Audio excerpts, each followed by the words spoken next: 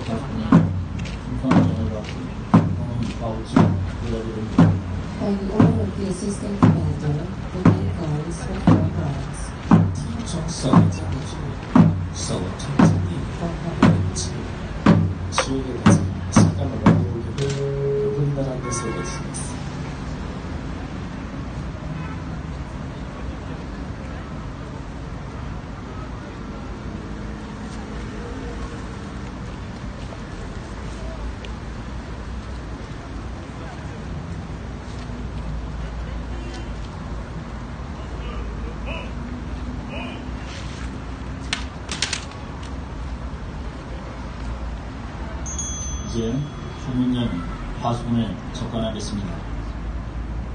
접근은 접근이라고도 부르는데 건국대전의 경전, 범의 품에 등장하는 단어입니다. 접근이란 법률 파수는 일제 군사 중 거기에 난장범죄를 저질하거나 부정한 자가 있는지 살피고 동기와 복장, 노 등을 확인하는 절차입니다.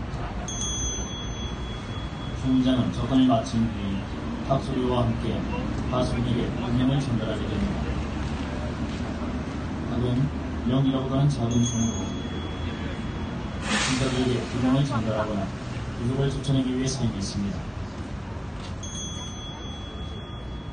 지금 보신 장면은 주문장이 파수군에 접근하는 모습입니다.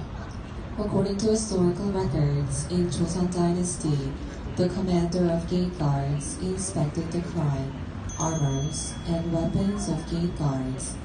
The guilty received punishment. Now, the commander is carrying out the dress and weapons inspection on the gate guards. 现在手了将这件手了绢，在朝鲜时代的政府大会中，这件又称为这件。这件是指手了枪调查手了绢是国有军种， 检查手了绢的同时以及一切的情况。